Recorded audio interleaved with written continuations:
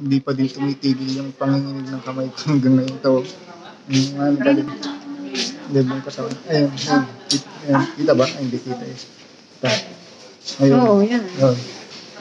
Hmm, natuloy naman. Hindi pa dito tumitigil. Nila, nilalamig kasi ako. Nilalamig kasi ako eh. Hmm.